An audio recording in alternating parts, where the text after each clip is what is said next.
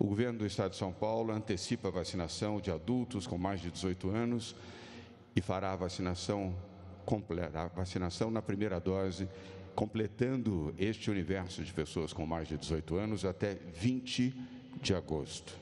Isso significa 26 dias a menos do que o prazo anterior, que era de 15 de setembro. Uma excepcional notícia.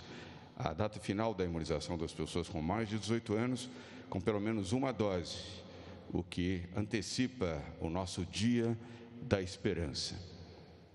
A antecipação é fruto da aquisição de doses extras da Coronavac, realizadas pelo governo do Estado de São Paulo, sob responsabilidade e custo do governo de São Paulo, junto ao laboratório Sinovac.